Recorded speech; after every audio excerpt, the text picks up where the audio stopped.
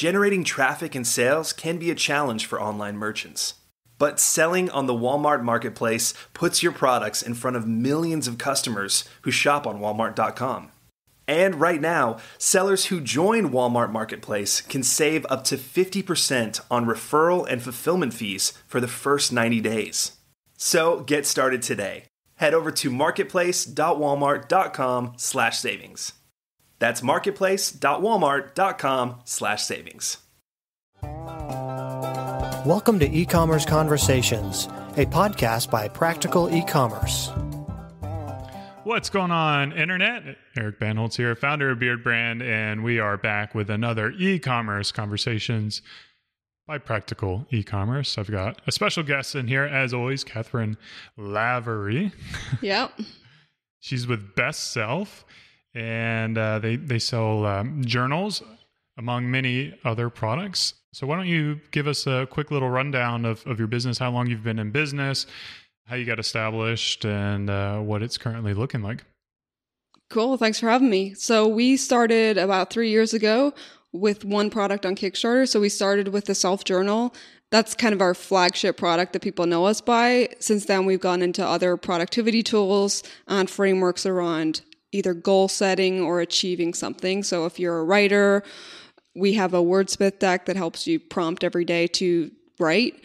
We have the Edison deck to help you come up with ideas. So everything that we create is based around helping you achieve something or improve your life in some way. Yeah, I've noticed it seems like journaling has been a, a really large uh, movement, and a lot of people are investing in themselves. And a big thing at Beardbrand is to keep on growing and investment in yourself. And you know, I've seen like journaling as a big part of that. Now, you mentioned you you launched on Kickstarter. I personally have never done a Kickstarter before because it just, frankly, it seems like an incredible amount of work, and I'm not that organized. Maybe I should I should do more journaling. Tell me, like, what should uh, an entrepreneur expect if they're going to launch on Kickstarter? You know, what's realistic? What are the things they need to do, and how does it go? So with Kickstarter, some people make the mistake of they think, okay, I'm going to put my project on Kickstarter and people are just going to give me money. So what you want to do is it's great for validation that people actually want your idea because there's no better validation than someone actually giving you something before you make it. So you're essentially pre-selling your product. So there's a lot of people on Kickstarter that shop on Kickstarter. So the great thing about crowdfunding as a platform is people are there to buy your story. Unlike Amazon or your store, like Amazon, people are on there to buy product. Your store, people might be interested in your story, but on Kickstarter specifically, people will watch a three minute video on why this thing is exists and give you money to fund it. So it's really great for building a tribe of people, validating your idea. So there is a lot of work that goes into it to sort of craft that story. But what I think of it is it's a way to kickstart a business. So for us, the reason we went to Kickstarter is because we didn't have the money to do an initial run of product. And we're like, oh, maybe our friends seem to like it. Why don't we see if we can get a bigger audience on this? Because then you can create like a run and actually consider making it a business. So for us, our goal was 15,000. So that was the minimum amount that we needed to manufacture with the company. And we ended up hitting 322,000 in 35 days, which kickstarted our whole company. So we didn't, we've still not gone out elsewhere for funding. Everything's gone from sales. And so there's a huge validation to getting that amount of money. It allows a lot more control because you have full control over everything. You're not actually giving equity away to all these people. You're pre-selling your product. So if we we pre-sold uh, 10,000 units of our product, but we had enough money that we bought 30,000 units of our product so that we could actually create a sustainable business. So when I advise people when they're starting on crowdfunding, it's what is the minimum amount you need to make this product and then also consider how do you turn this into a business because the last thing you want to do is always have to kickstart the same product. So if you're raising money, how do you raise enough to fund a run that can also start a business from it? So if you sell 100 units on Kickstarter and you only make 100 units, then there's there's a little flaw there because you're not actually creating something that's sustainable. So what you want to do is figure out what's the minimum amount you need to create what you can sell on Kickstarter and what you can actually start a business on. And then I always like to go for the minimum amount because you want to create momentum. So that first 48 hours on Kickstarter is the it's really the make or break because that's when you have people coming in and backing and you want to get funded as soon as possible. So for us, our goal was 15,000 which we hit in 28 hours. And then what there's not everyone's an early adopter. So even though on Kickstarter you technically get your money back, a lot of people go in there it's like, "Oh, wait and see if it gets funded and then I'll maybe back it." And once you get fully funded, you're like, well, I better get on this. And then you can start doing like uh, stretch goals and things like that. But there's a lot of momentum if you get that funding early, and then you can sort of Kickstarter will reward you. So any Kickstarters that that I've done or that I've advised on, I've generally seen about 35% of total pledges coming from just people that browse on Kickstarter. Like they have probably 5 million backers on there that just constantly back projects. I'm one of those people. And I like to think of Kickstarter as like a uh, a secret Santa to yourself because what happens is you back something and then you forget that you did that mm-hmm. and then a year later you get a box in the mail and you're like, "Oh, sweet. something I wanted." Yeah. That's pretty amazing that you're able to I mean, what is that? 200%?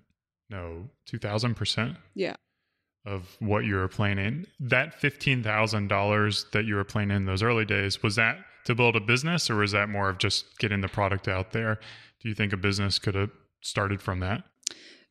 A business could have started from that. I think that was based on a minimum order of a thousand units mm-hmm. with some leftover to sell. So you're funding a thousand units at the sales price that you want to sell it at, but not at the at the price that you're going to buy it at. So that so you need to create some margin for yourself. But no, if we had only made 15,000, well we might have sold the product and turned it into something, but it definitely wouldn't have been like a hell yes. Oh my god. Maybe this is the business we should be doing and not this other thing that we started on the side. Yeah. I think that's really one of the nice things about Kickstarter is you're getting that validation. How much of that momentum was just from the platform Kickstarter, and how much was it because you were out doing PR, you know, press releases and trying to like just almost like that startup energy that you have for a new product, really just trying to get it out there? So for us, we built an email list up for the three months prior to the Kickstarter starting. So when I said you want to get that initial momentum, Kickstarter has an algorithm, so like the most popular projects will come up first, and those are based on the amount of backers that pledge rather than the amount pledged. So, say you had like a thousand backers giving a dollar each, and then another project had 10 backers giving, you know, 2000 each or something they will value your project more because you're putting more eyeballs on it and they have repeat backers coming in so they want as many people on that page as possible. So there's people that are going to be on your email list that don't actually want the thing that you're selling but if you can create some sort of reward level at like one dollar a lot of people won't have a problem with giving a dollar and that actually helps the algorithm within Kickstarter and then you'll get more organic traffic. So I like to think you were going to send you're going to send like 60 to 80% of your pledges from stuff that you do and then depending on how popular a project gets through social media or people sharing or the platform will send the rest. But a lot of the initial work is going to be for you. So it's going to be about like building your email list. So for like Beardbrand it might have been like YouTube videos around how to take care of your beard and then be like, oh, this is a product. So you want to warm people up and like teach them about the problem that you're solving and then oh yeah here's here's a product that solves this problem. Yeah. How, how were you able to build up your email list? What were the strategies and tactics that you did? So you didn't have a business no product at all. So yeah we didn't have an email list or or a product yet. We started from scratch i think in april mid-april 2015 and we launched in august so we went from like nothing to 3200 or something and we did a giveaway so we basically found a bunch of products that people that would be interested in our product would like so like productivity software, bulletproof coffee, um, books.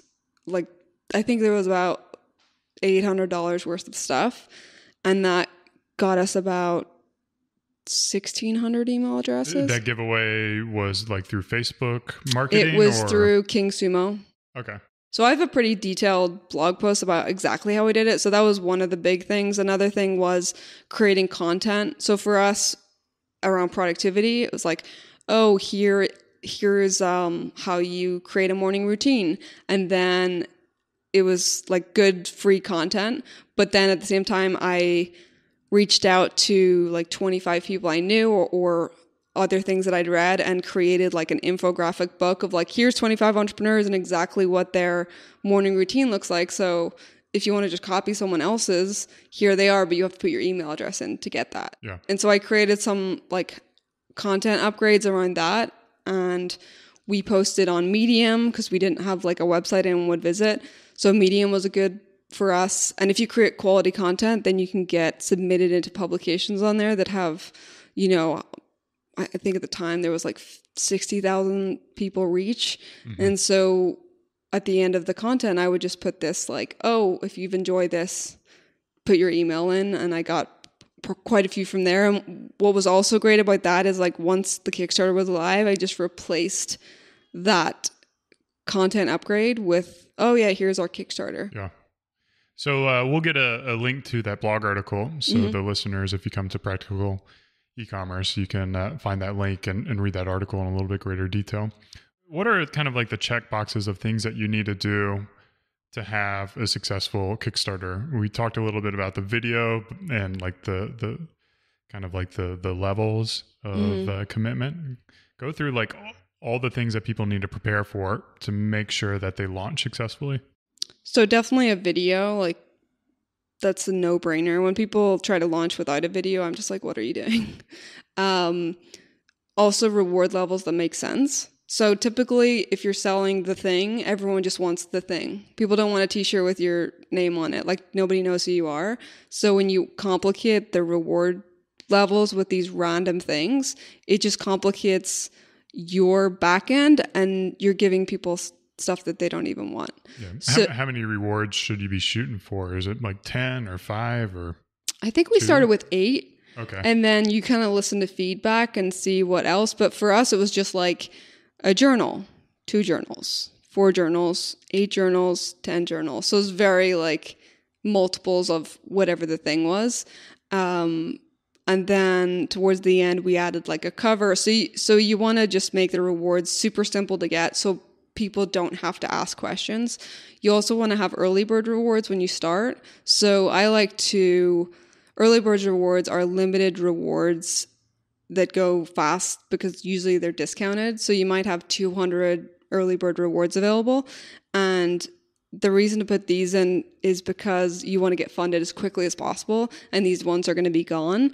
So, my sort of calculation is the early bird rewards, which we had on like one product and, and the and the two pack, we if you counted up like 200 of this one and 200 of that one, they would have technically been 80% of us our way to goal. So it's a way to kind of manufacture how do I get funded quickly by creating early bird rewards to reward people who come onto your page and back right away.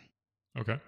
With the video production, is there like a particular story arc or something that performs better than like do you need to have the story or can it just be about the product or what are the best practices for creating that video? I find the best ways to do it is you kind of introduce yourself, you talk about a problem that you were having prior to this. Usually it's like, I had this problem, and then you describe the problem, then you talk about solutions that didn't work, and then you introduce your product. And then why, what the benefits and, and the features are, and then what is needed to get this product into someone's hands. So it's kind of like the problem agitate solve model in a human way that makes people connect to you. Okay. Let's segue a little bit. You're on Kickstarter. What about Indiegogo, like, or other platforms out there? Is this something that you launch on both platforms at the same time, or you transition, or what are the differences between? So for for me, I've only done launches on Kickstarter because I think there's more traffic and people shopping there. But what a lot of people do now is they launch on Kickstarter, but then they go on on demand on Indiegogo, which is technically like a second fund on Indiegogo once your Kickstarter ends, so that you can keep collecting pre-orders prior to actually having the product. So that works really well for people. Okay. And then from an operational standpoint, I, I know in the early days, like you essentially don't have the capital, but you know, three years in, you're more successful. You, you probably know the operational aspect of things. You could theoretically have all your products ready and just do it as Mm-hmm. like a fancy pre-launch. Is that a successful tactic for Kickstarter, or should it always be for these products that you want to test the marketplace and and see the validations in it? So I've seen both work well. I've seen businesses that keep going back to Kickstarter, sometimes for the same product, just a new edition. Um, for us and for other companies that I kind of look at, they will go to crowdfunding for like a brand new product that they kind of want to test the market and also get some sales in before they make it. So for us, we went back to Kickstarter for some for a hardware product because we're like this is a lot of money up front for like injection molding and all the rest of it. So why don't we see if people actually want this thing and then collect some money before we go make it? And I've seen that for other businesses where it's like kind of another vertical in the same category, but they don't want to take the risk, so they, they go to Kickstarter. Okay. So I wanted to talk about, you know, like kind of segueing into to new products and, and new offerings and and really like um, the expectation for we kind of talked about it when you're branching into something new like what are the timeframes that are realistic for people to expect to get the product you know like do they generally want it within three months or six months or how do you best manage that process if you're completely new to something So if you're completely new to something and you have no idea, I would always take what you think you can do and then double it. And then don't promise delivery even if it's tight. Like if you're like it's going to be there by Christmas, don't ever do that. I say that from experience where because then people are like, well, they said it's probably going to be here for Christmas, so now it's definitely going to be under the tree, and I don't have to go shopping and everything's sorted. So I wouldn't do that. I, for people like that, they've created a product similar before and they know they already have a manufacturer in place. It's really just a, pl- a case of put, putting an order in.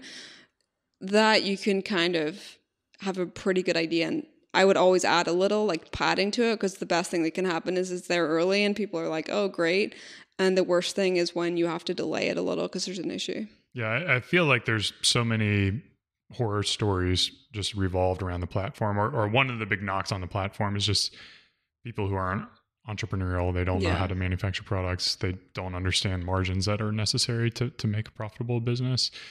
Uh, so, like, just really make sure you you go conservative with your numbers. Yeah, you know, like Definitely. And, and account for shipping. A lot of people, I've done a Kickstarter before where I didn't account for shipping, especially international. And then you see this number of money that you raised. And then I actually did a blog post. I'm like, here's how much money I didn't make because I didn't account for shipping or anything like that. And that stuff like really eats into your numbers. So I would, once you have a prototype, go to the post office or figure out with your you know your mail how much it's going to cost like best and worst case scenario and and be conservative towards the worst case scenario Yeah. And I would always encourage entrepreneurs, not just on Kickstarter, but everywhere, try to to win customers with your story, not the price. yeah So if you can focus on that story and the value that you add and the benefits you bring to the to the consumer or the customer, that's going to be a lot less stressful than playing on margins and, Yeah. and really trying to be competitive in the marketplace. But different strokes for different folks. Let's kind of segue like so so you've built a successful Kickstarter campaign. How does that transi- transition into the business model and the e-commerce side of things? Like, is it just like this super high spike where you, you get you know three hundred thousand dollars mm-hmm. and then it's dry for the rest of the year uh, until the next Kickstarter, or how do you transform that into like ordinary sales? so for us we just did the first kickstarter which ended september 2015 and then we took a few months to get our store together and we launched on Shopify on January 1st, 2016. And then we didn't do another Kickstarter until 2018 for a completely different product. So for us, it was like, okay, this was enough to get us started. Now, how do we get consistent sales? So we built a community up like a Facebook group of people and we really just were engaging with them. And like you said, where you don't want to ever compete on price. You know, I, I also feel that way because for us, our journal initially was like a premium journal. I think it was one of the most expensive ones. But what we were able to do with that gives you margin where you can make things that will help people use the product and you have some sort of budget where you can use it to give back to figuring out okay, we have to build a community, we have to get a community manager, we have to create content and roadmaps around okay, people are going to get this tool, but sometimes people don't know how to set a goal. They're like, oh, my goal this year is to lose some weight. It's like, well, technically, if you lost half a pound, you would hit your goal, but that's not really what you want. So we really had to educate people on exactly how to get what they wanted and create systems for them. So because we had some margin to play with, we, we were able to create th- create content and things to help them use the product better. And I think that for us was key because we created a community of people and really not just worked on selling them once. So if you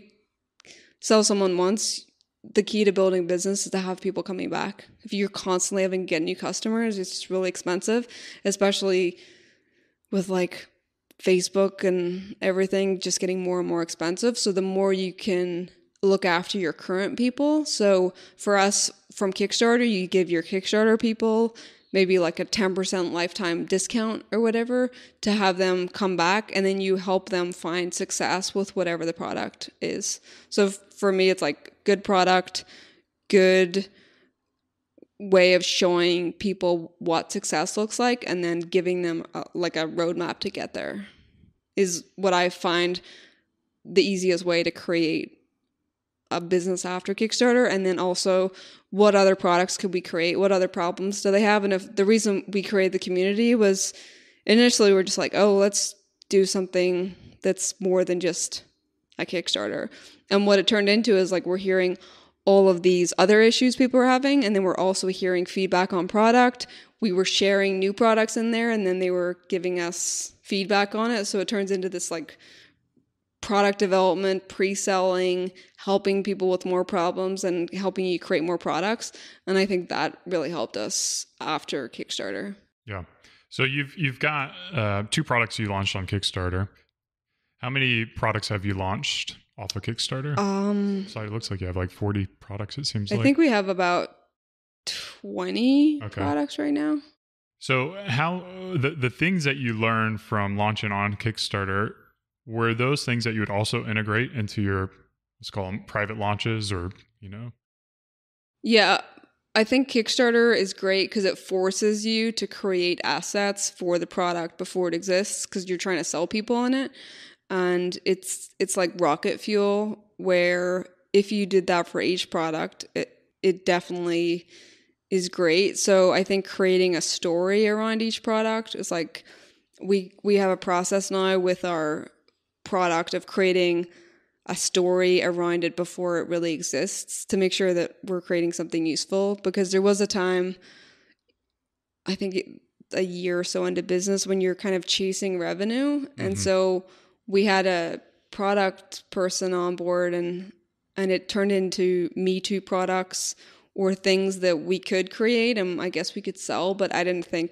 really fit in or were unique to our brand and so it took us until I created this sort of system of filter of how you put stuff out and killing products that didn't make sense before we put money into production that we were like, okay, we need to have this process every time we put out a product. So we need to create a story around it and why people are actually going to want it and then treat it kind of like a Kickstarter. It's like we created a video for the Kickstarter. We created um, why people would want it. We didn't just say, oh, here's another product you can buy also. yeah i think uh you know i'm kind of guilty here at Beardbrand we're kind of guilty of that it's like oh we got this new product Oh, I know we've done it. Yeah. It works for a while, and then it's almost like that that initial push that you have doesn't. It's just like it's a launch and it's a spike, and then it doesn't last because you haven't created that story around it. So with every new product you're doing now, are you creating a video and and tying that into like a landing page on your blog, or uh, talk a little bit more about the technical setup of of your launches? So we have tier A, tier B, tier C products, and this is something when I looked at sales, it's like the majority of sales are coming from tier A products. So it's like the self journal, the the frameworks that help people achieve something, and then there's tier B, which help you do something with tier A products. So so a tier B product might be a like a cover for the journal. It's like really nice leather, but doesn't help you do anything, but people love it with the journal. And then tier C are more branded products, add-ons, so so tier A will do a video and we'll do as much content around the tier A products, and then the other ones are more add-ons, so we don't really put the time in. So tier C is like say if it's like 80 say it's like 70 20 10 i don't want to spend more than 10% of my time on tier c products. They do bring in revenue but they're not like it's almost like if you created all that stuff it would be such a waste of time because people are either going to buy it or they're not. Like a pen that we sell right. on top of it. It's like if we create all this content, they might still buy it and they might not, but like that's a lot of time wasted on a, on a low value product. Okay. That's pretty interesting. I've never even thought of um, tiering products like that before in terms of priority and, and uh, focus of, of launches and things like that. And then uh, you do send them to a blog and, or do you have like landing pages with we quick, usually send them to a landing page. Okay. Uh, talk about how you build out those landing pages and and how does that work with you, you guys are on Shopify. Yeah. How does it tie in with that? Awfully. um so we're currently working on a new site.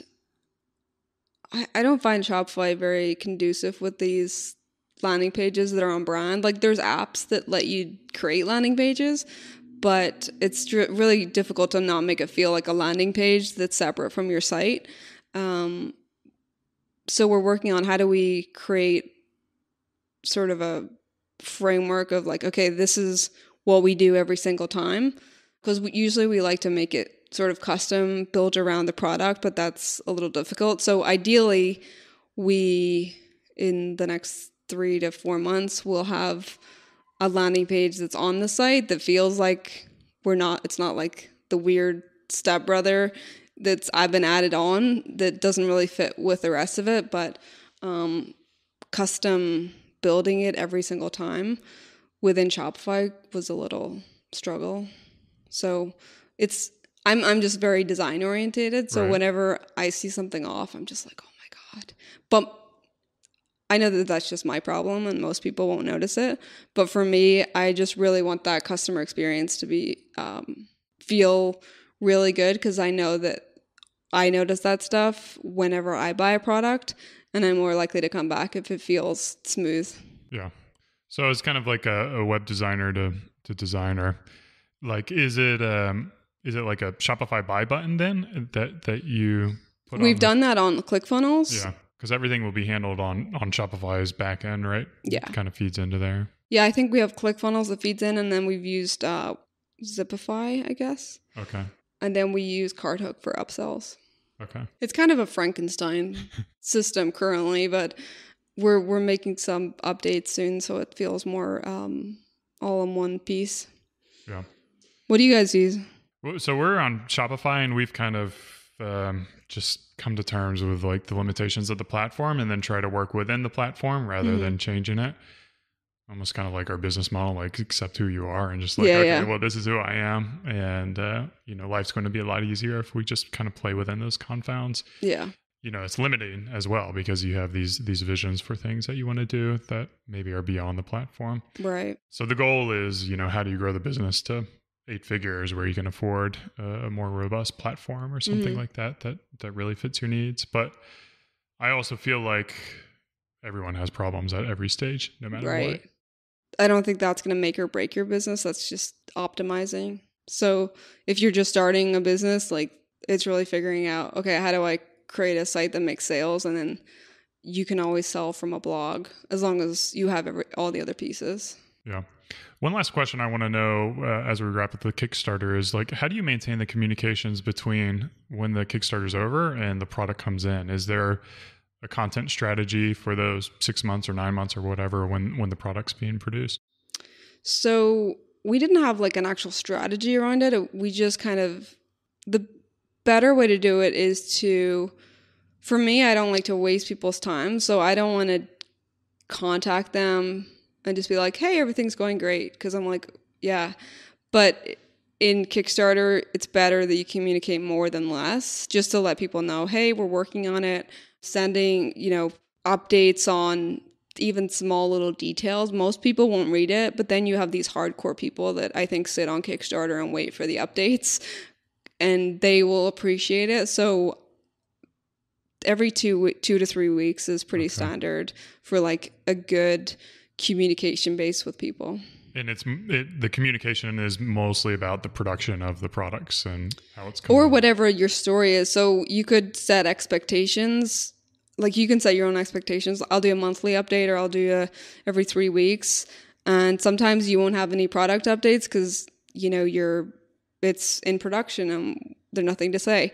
But you could say, oh, we this we building at the store, or um, we just created this discount code for you for our store, whatever it is. You can create a story around each update. The important thing is that you don't go dark so that people don't know where you are because they'll just assume that you've run off with their money. Yeah. Where can people find out more about you and more about your business? And what's the best way to get in contact with you if they have any more questions? Uh, so BestSelf is our business, bestself.co. And then my website is called littlemight.com. And that I have a lot of crowdfunding resources because I get asked a lot about Kickstarter. So I've got a lot of blog posts up there about exactly what we did, how we built our email list, how you do a video, like simple things like that. But um, that will be on littlemight.com. And that's uh, M I G H T. Okay. It's like because I'm small but mighty. there you go. Well, this has been another e commerce conversations on Kickstarter. Catherine, thank you so much for joining me. I had a lot of fun and getting excited about maybe the potential of doing a Kickstarter ourselves. That'd awesome. Thank you guys for listening. Cheers and keep on growing.